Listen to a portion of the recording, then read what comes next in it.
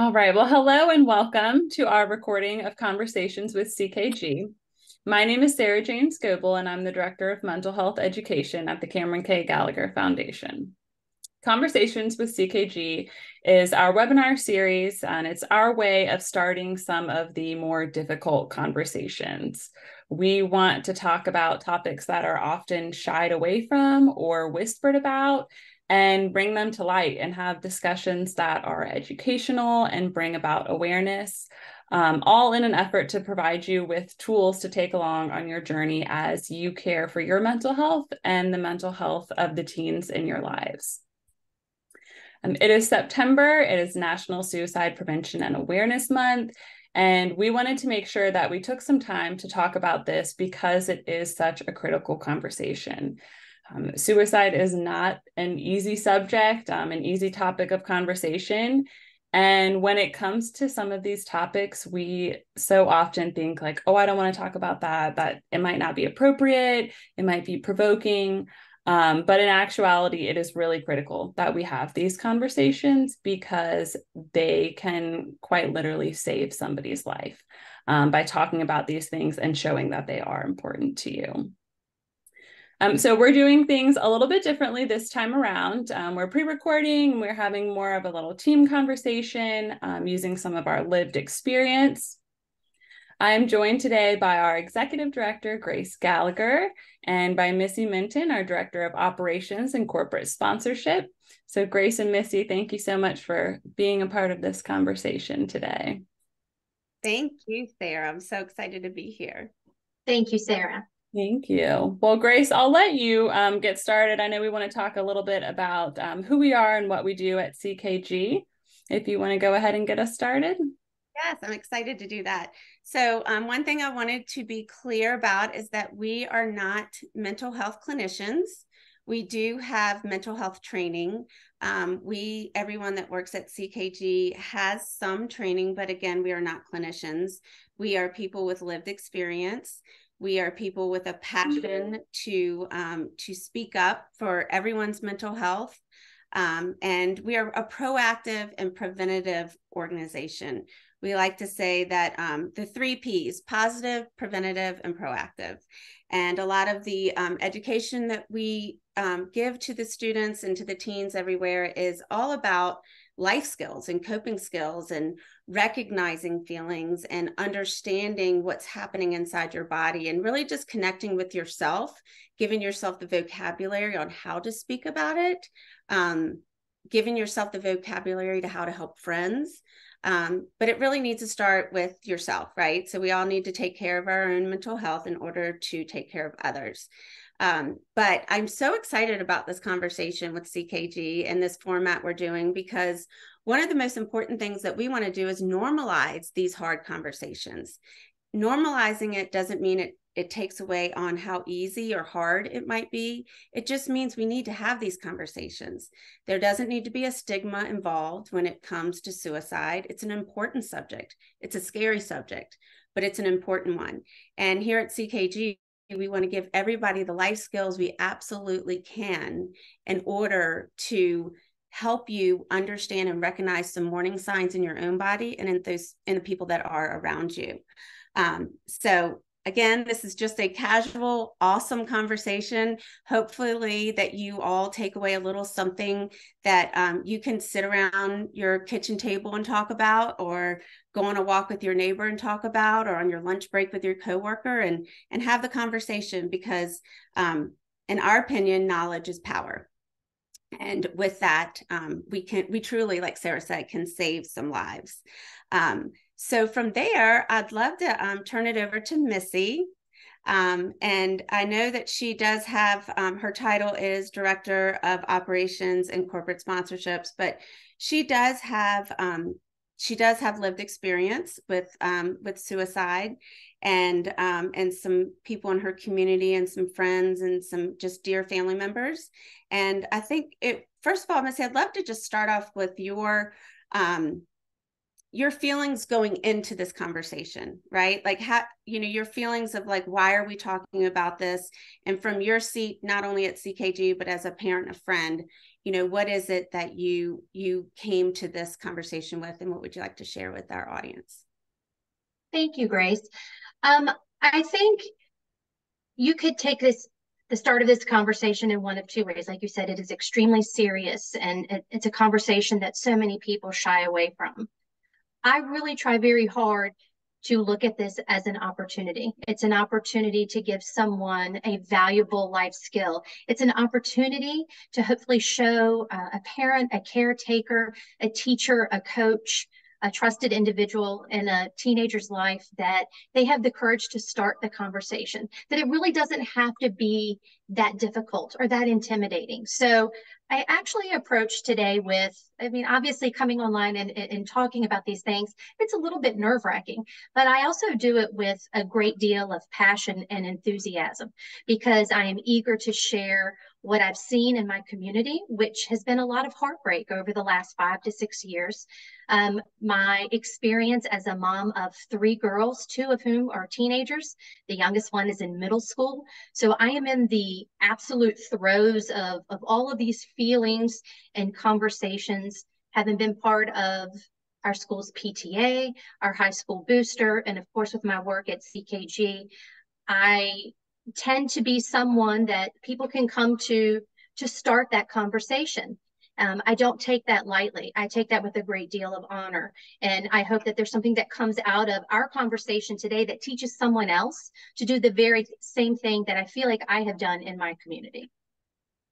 I agree. Um, the conversation is so important, and the conversation doesn't need to just be when somebody's in a dark spot or struggling. It right. needs to be a part of um, everyday conversation because we talk about, you know, did you take your vitamins today? Did you fill your water bottle up before mm-hmm. school? Is your homework mm-hmm. done? You know, all of that, it, it needs to be a part of our, our conversation daily. Um, another question I'd like to ask you, Missy, because you and I are about the same age. And mm-hmm. um, you know, we're not that old, um, but it was a different mm-hmm. conversation when we were in high school, right? Um, so, was. can you share where we've come from what you um, I can tell you what I thought about in, in my high school experience, but mm-hmm. I'd love to hear from you first on um, where you think the conversation started in, in your experience in high school and where it is now. It it was definitely in a in a hushed corner. Um, when you brought this up, I was immediately brought back to um, we lost two classmates when I was in high school to suicide. Um, and I remember one of them was somebody that I didn't know very well. And and I distinctly remember the conversation around him was oh he's a loner, um, you know he didn't really have um, a lot of friends, and nothing really more was was really said about it. Um, the other one w- was a friend of mine, and and he he died um, um, with a self-inflicted gunshot wound, and I remember the pure grief um, that surrounded his family after that. But what I also do remember was that after that very short time frame, there was nothing really as a follow up. There was no follow up conversation. There were no peer led groups. Um, there wasn't um, meetings with school counselors for that type of support that students needed. It was an incredibly confusing time. And so, where I've seen this evolve is that there are more resources out there. There are individuals, there are counselors, there are there are teachers, um, and certainly more parent parent support groups that are willing to um, be there for kids um, in the follow up and the aftermath of a tragedy such as this that did not exist. I also recall that my parents didn't talk to me about it. They never asked me how, you know, I felt about it. And they are certainly of of an age um, and grew up in a time where you did not discuss those types of things. That was like an inappropriate conversation to have. So I, have seen the pendulum swing from one one way all the way over to the other um, in the position that we're in now.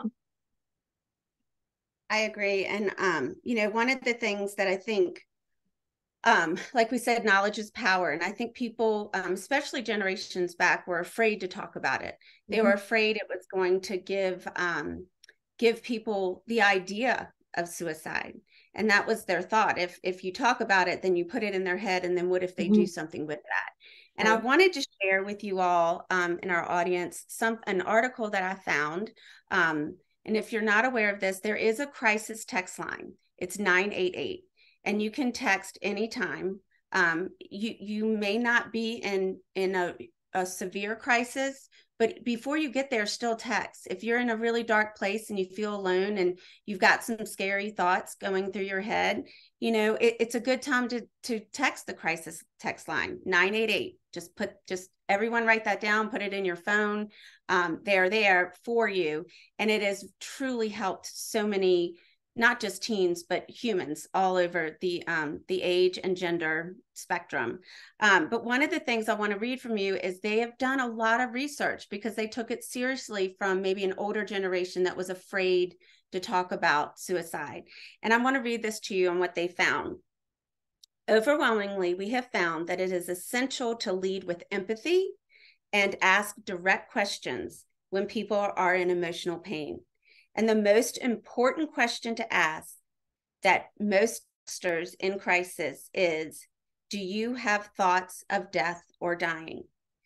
After using artificial intelligence to analyze our data set of 75 million text messages collected since the crisis text line launched in 2013, we found that assessing suicide risk with an expression of care was most likely to reduce a texter's suicidal feelings. So I think the real important thing to hear there is yes, we have to talk about it. Um, and then when you're worried about someone, you will never regret asking, Have you thought about hurting yourself? Have you thought about ending your life? The follow up question to both of those, and um, follow up question to those questions is Do you have a plan?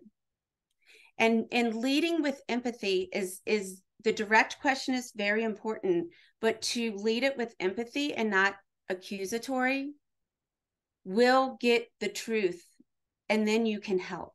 If they feel like they are being having to defend what their scary thoughts are then they're going to think they're in trouble.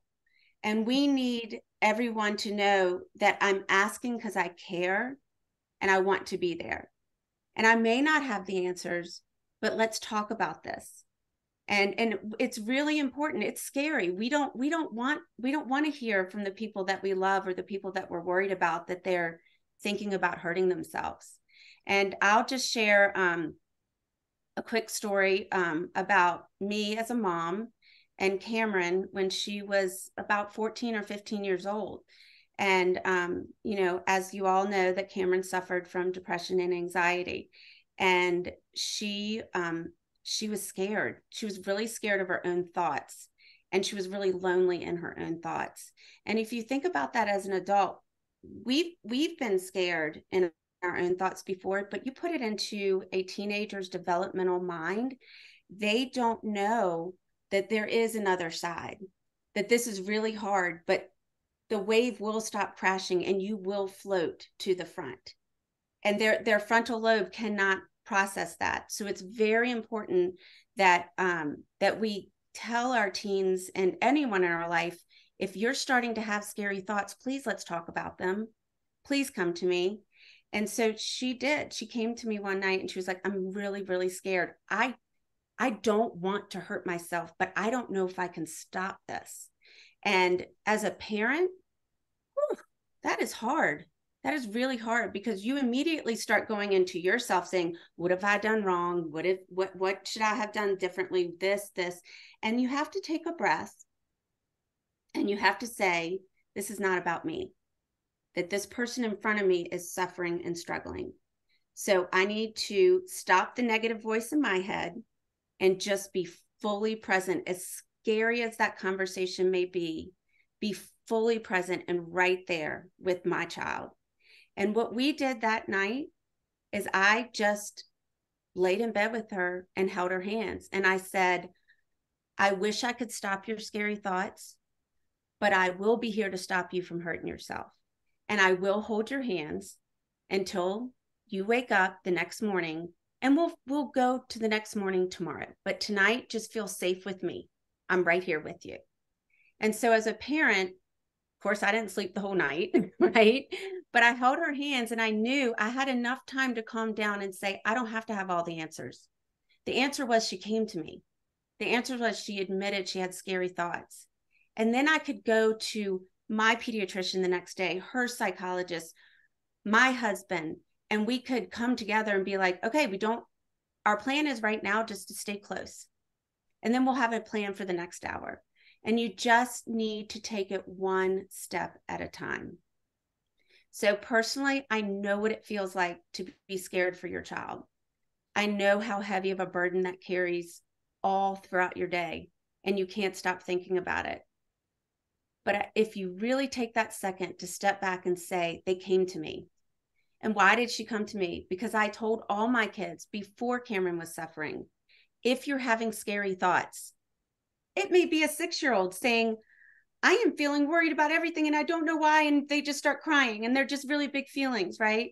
If you start early enough and say, let's talk about those scary thoughts, we're not going to ignore them. We're going to walk through them. We might be scared together and we're going to get to the other side. So that was my personal experience um, with with a child that was truly in a dark place. Um, but I can't reiterate enough to all of us in the audience and everyone out there please don't be scared to talk about this. I mean, we've got the the data and all of the different. We've got it from the crisis Texas text line. We've got it from Psychology Today. Talking about suicide does not cause suicidal thoughts. If you could compare it to when Mothers Against Drunk Driving started, we had to talk to our kids, even though we didn't want our high schoolers drinking, much less drinking and driving we talked about it and look at the rates that went down mm-hmm.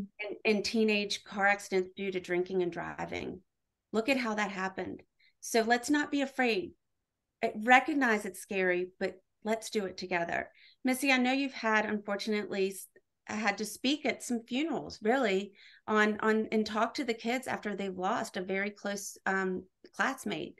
So if there's anything out there you want to share from your life experience and in that area, I know all of us as parents and caregivers and teachers and coaches and neighbors, you know, sometimes we need help with the vocabulary and and maybe sharing with some of the conversations you've had and the experience you've had could be pretty helpful.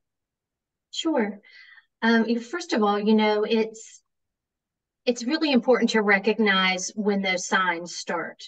Um, from when they're young and it's the, the tummy ache going to school um, to middle school and transitions and um, and then to the academic pressures of high school which is actually kind of where where i am right now as a mom so i'll you know explain a little bit more about that um, my oldest is um, She's a great student, uh, straight A student. She's never made a B.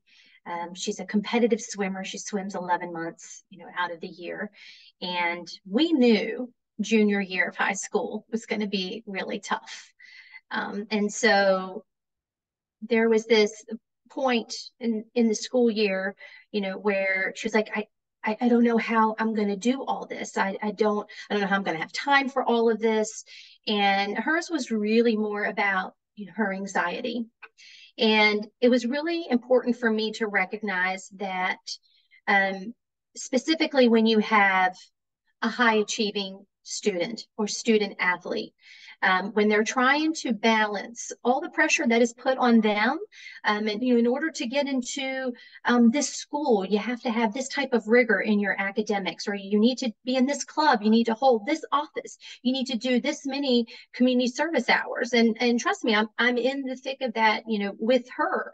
Um, and we don't really realize, I think, as a as a society, the pressure we're putting on these teenagers to achieve at leaps and bounds really above and beyond what we had to do in order to get into um, a good school or or that the four-year college is the only avenue of, of success for a student and not thinking that perhaps Perhaps my child is not quite ready for college. Perhaps they need that gap year, or maybe they need a, a semester at our local community college just to bridge that gap in transitions.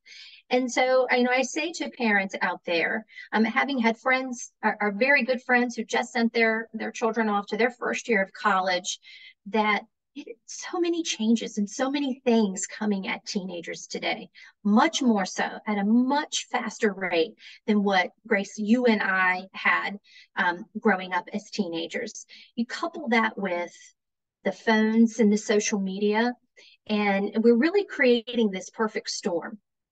And it was really important to um, my husband and I that we provide as much opportunity away from those pressures as possible. For example, it is super important that we have phone free time in our house. It is super important that we get time away, weekends and family time. It's important that teenagers have that healthy outlet. Um, for my oldest daughter, hers is she likes to jog. She loves to play the piano. She loves to sing and she needs to be able to to do any one of those um, those positive and preventative and proactive skills in order to maintain you know the balance of her of her mental health. Um, I, I know that when i come home and i find her at the piano i know that she's in the middle of expressing i'm having a tough day.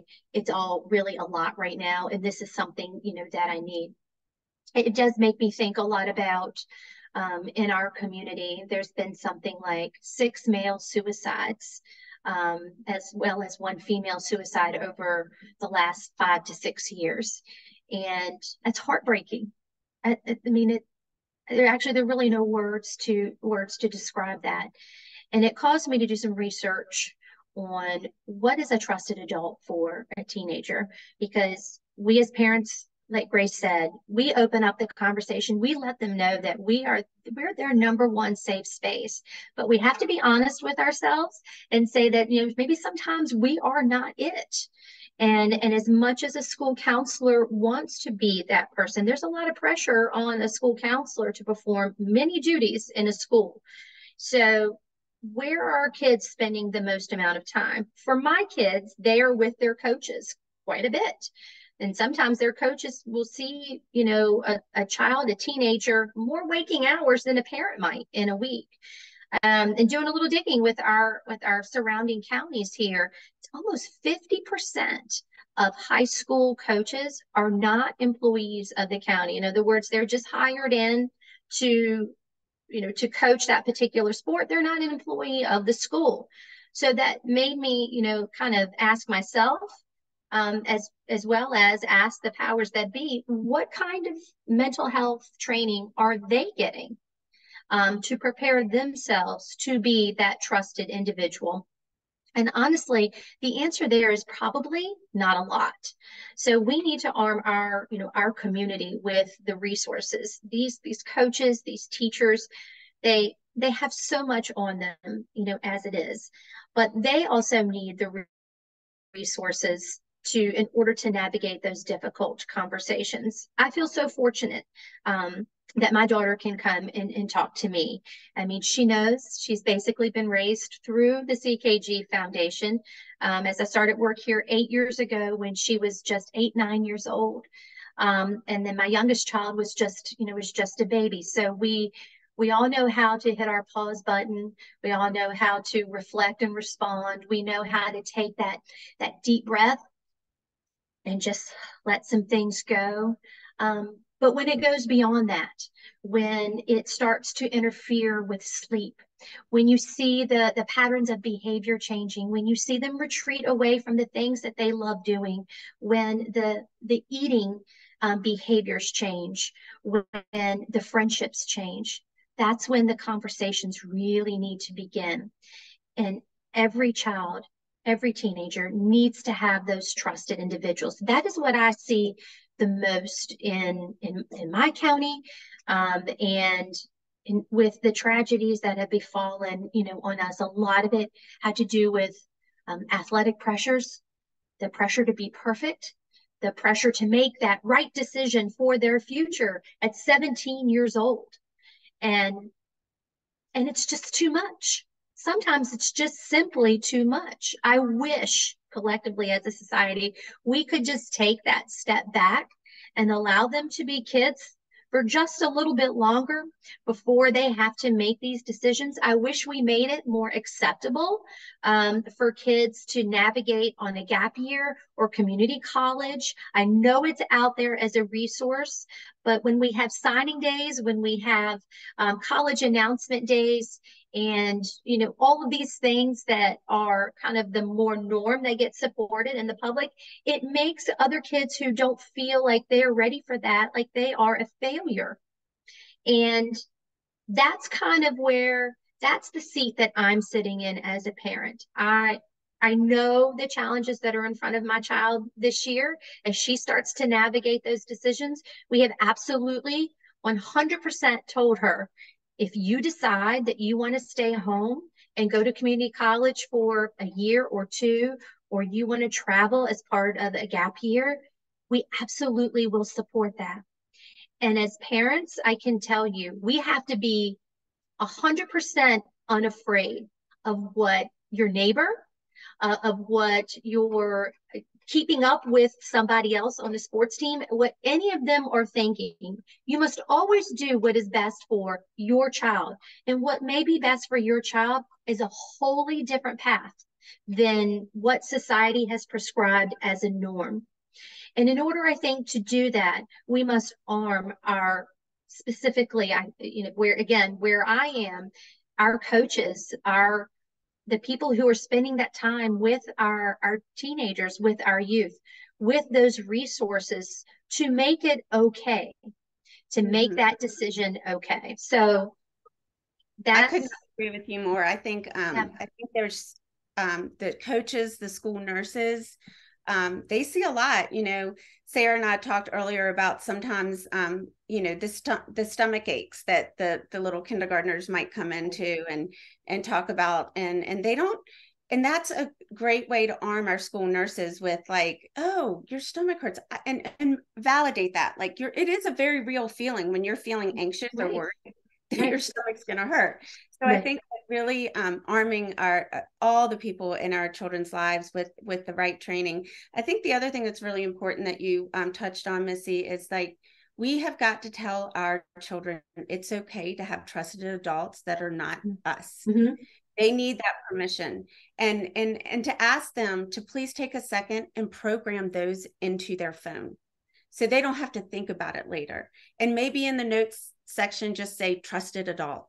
And and they need the permission to be like you're not in trouble if you need to go to another person. The the importance of you being here on this earth in the healthiest state you can be in at any given moment time is the priority. I think the other conversation when we when we talk about um, suicide awareness um, is we you know how many times have we all heard oh we didn't see this coming. Right we didn't know um, maybe it wasn't an athlete that was with a lot of pressures. Maybe it was just somebody that just floated on through life, right? Mm-hmm. Um, and, and everybody's always surprised. And I think the other the other really important thing to have the conversations with your family, with your team, if you're a coach, um, with your neighbors, is you know, there's a mask we all wear, right? I don't always feel great showing up to work. I feel great when I see my team and but you know sometimes you you put on that smile and you're not really feeling that smile. Um, i know that sarah a lot of our programming and educational we talk about the um, invisible backpack. Mm-hmm. and i think when you have that conversation whether you are a parent teacher grandparent caregiver mentor whoever you are i think having that conversation and and really saying you know i carry an invisible backpack sometimes and sometimes my the very closest person in my life to me doesn't even know how heavy it is because i just i'm just carrying it. Or sometimes i wear a mask and really it gives the um, i think the teens and the students and the and all children and the words and the permission to be like oh wow i didn't know other people were carrying around a lot of a heavy burden.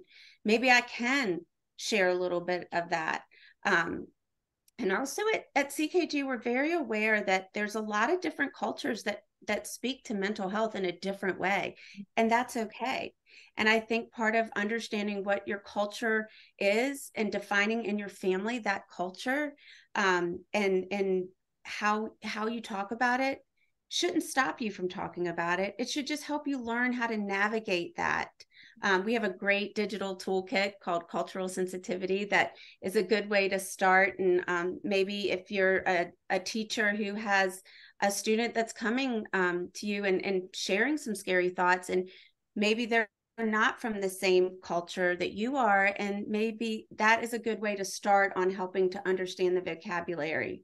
Um, I've talked to a lot of different people who um, who don't look like me and and don't have the same life as me. And the way they talk about mental health is important.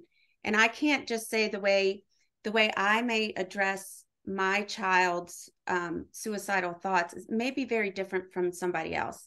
And in my own family having the age difference that i have um, sarah's got a little toddler. And so she may start in a different way speaking about um, and not not saying to her sweet little daughter are you having suicidal thoughts at two years old? But you may be saying you know things like um, are your feelings really big right now?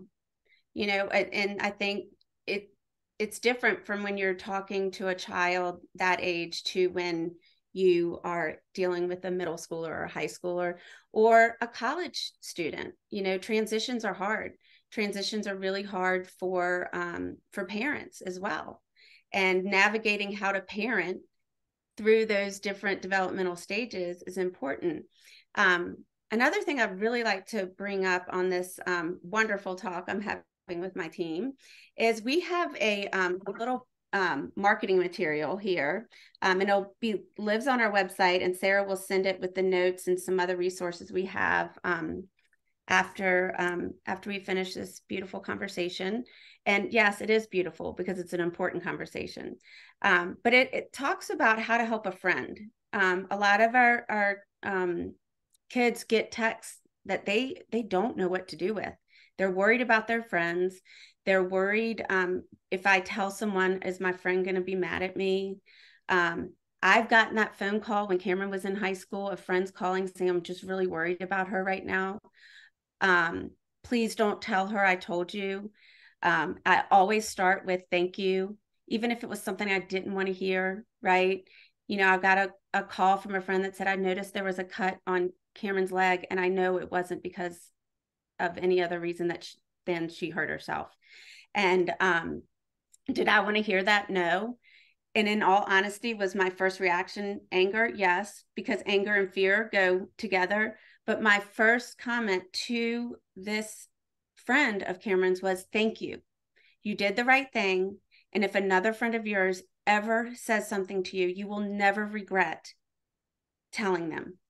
And I respect your privacy and I respect your trust. The most important thing is that you put your your own fear of losing a friend aside to save the life of another friend.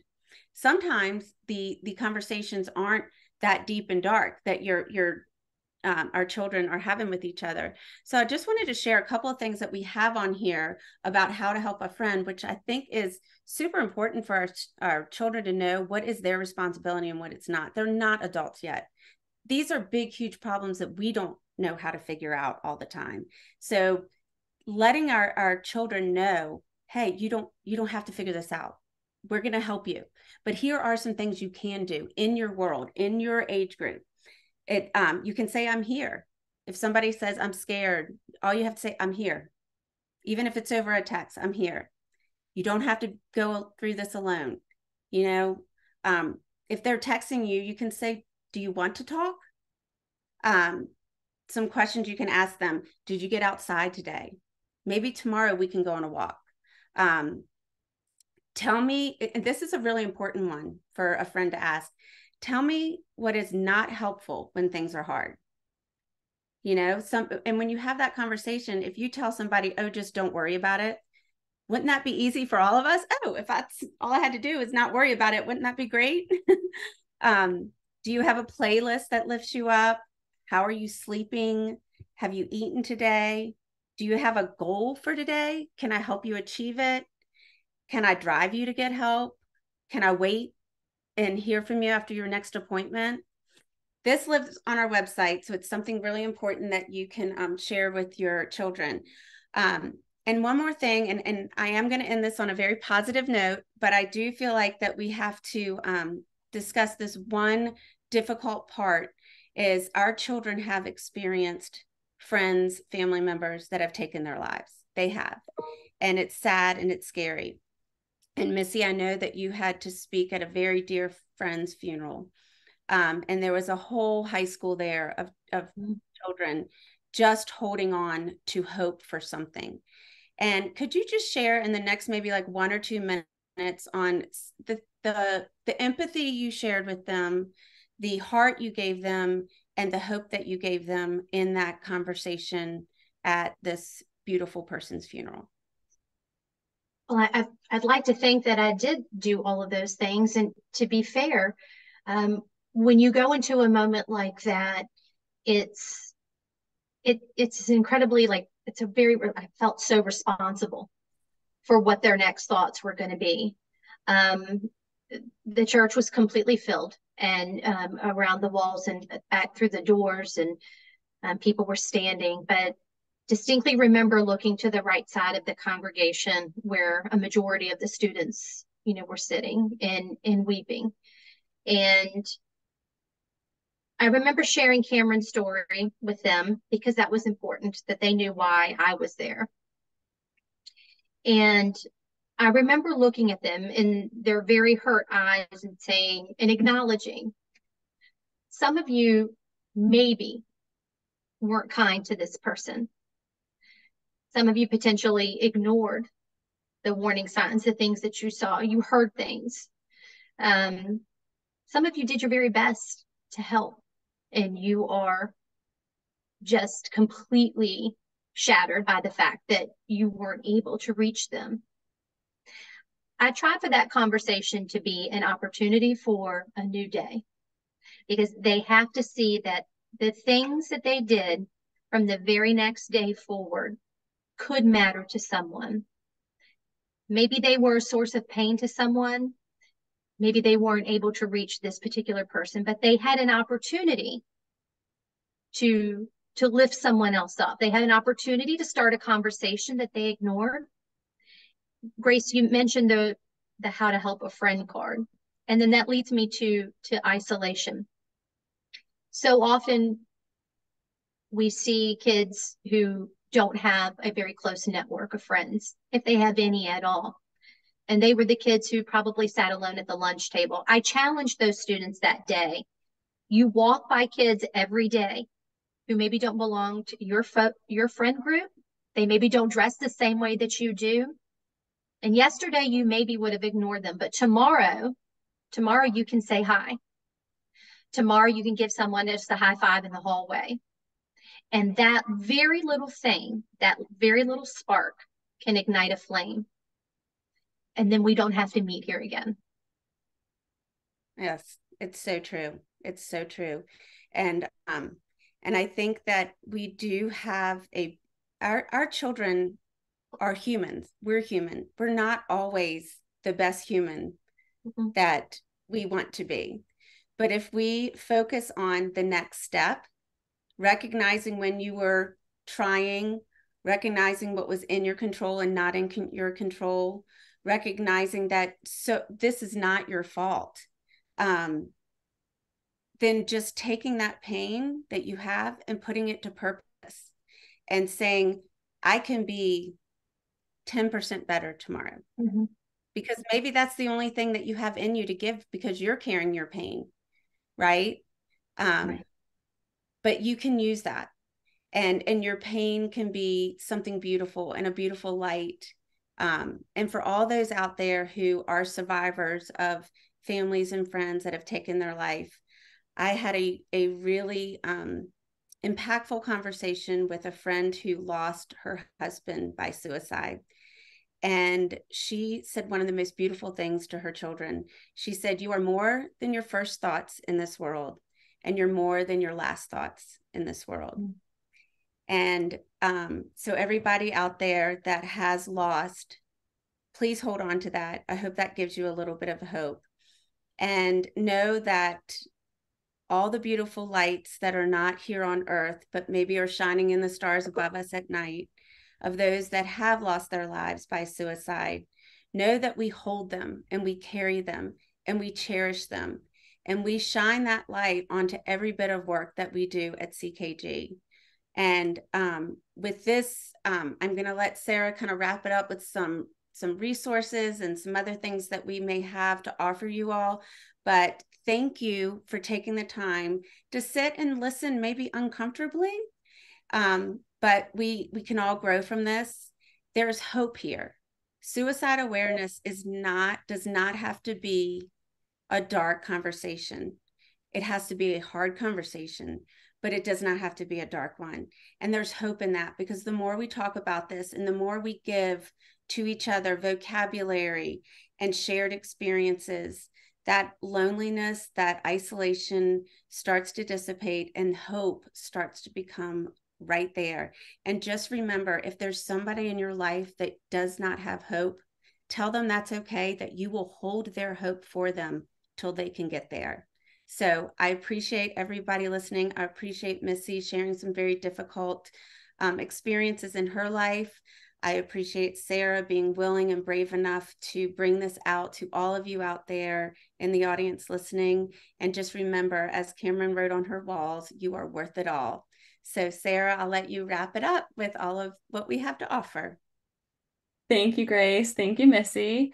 Um, yeah, so this recording is going to live on our website. It will live on our YouTube channel. So you will have it available to you at any time.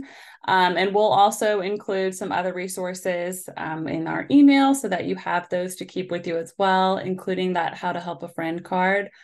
Um, and just to reiterate, the Suicide and Crisis Lifeline, that 988 number is open all the time. You can call it, text it if you're in crisis. You can even go on their website and use the chat feature. Um, so just remember that that 988 number is always available to you.